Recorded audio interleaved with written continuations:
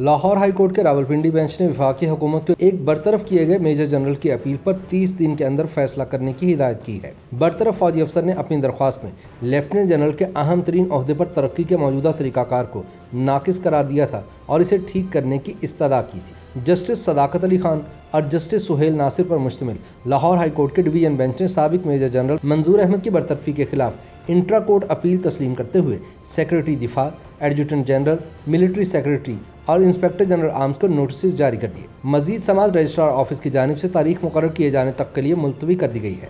इससे पहले लाहौर हाईकोर्ट के जस्टिस आसिम हफीज़ ने यकम जुलाई सन 2021 को मेजर जनरल मंजूर अहमद की दरख्वास्त को आइन के आर्टिकल एक सौ तीन का हवाला देते हुए मुस्तरद कर दिया था, जिसमें कहा गया था कि उस शख्स से मुतालिक कोई हुक्म नहीं दिया जाएगा जो मुसल्ला अफवाज का रुकन है। इसी फौजी अफसर ने पहले इस्लामाबाद हाई कोर्ट में भी सीनियर फौजी अहदेदारों के खिलाफ एक दरख्वास्त दायर की थी, जो इलाकई दायरा इख्तियार में ना होने की वजह से सुनी नहीं गई थी।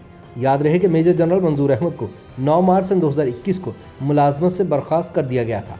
एडवोकेट आबिद साकी ने लाहौर हाईकोर्ट बेंच के सामने मंजूर अहमद की नुमाइंदगी की।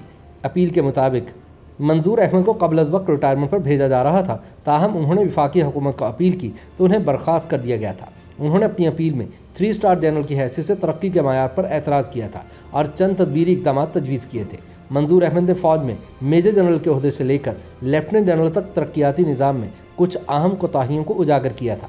मेजर जनरल का मौकफ था कि इनकी तजावीज़ पर गौर करने के बजाय सीनियर फौजी अफसरान ने गुस्से में आकर इनको मुलाजमत से गैर कानूनी तौर पर बर्खास्त करने का हुक्म दे दिया। मुतासर फौजी अफसर के वकील आबिद साकी एडवोकेट के मुताबिक जवाब दहिंदगान सेक्रेटरी दिफा एडजुटेंट जनरल और मिलिट्री सेक्रेटरी ने मुतासर फौजी अफसर की दरख्वास्त, पाक फौज की आला कमान को भेजने के बजाय इसे रोक लिया, जिसका फैसला होना अभी बाकी है। उन्होंने अदालत से इस सदा की कि वफाकी हुकूमत को फौजी अफसर की अपील निपटाने की हिदायत की जाए। चुनाचे लाहौर हाईकोर्ट के रावलपिंडी बेंच ने सत्ताईस जुलाई को विफाकी हुकूमत को यह हिदायत जारी कर दी है कि वो तीस रोज़ में मेजर जनरल मंजूर अहमद की अपील निपटाकर अदालत को आगाह करे।